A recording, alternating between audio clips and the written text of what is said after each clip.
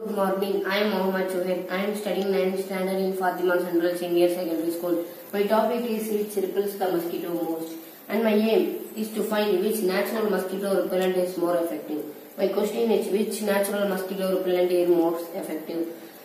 My hypothesis, neem oil will be the more effective than the other natural oil. My design of study, independent variable, natural repellent, dependent variable, repelling mosquito, controlled variable, water, alcohol.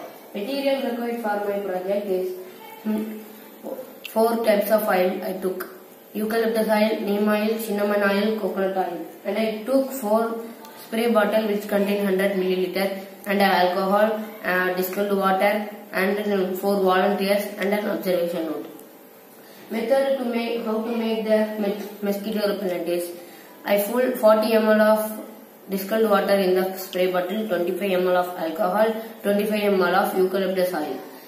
And I shake it for 10 to 15 times and I gave to my volunteers. They check, they used it for 10 days and they gave me the observation. So I showed it in my like this the observation. Eucalyptus oil is 75%, cinnamon oil is 50%, neem oil is the 95% and coconut oil 65%. My result is neem oil has been showed as 99%, so it is the more e- effective than the other natural oil. So this is the best oil, and this is these are the four oils which I made, and these are my four volunteers.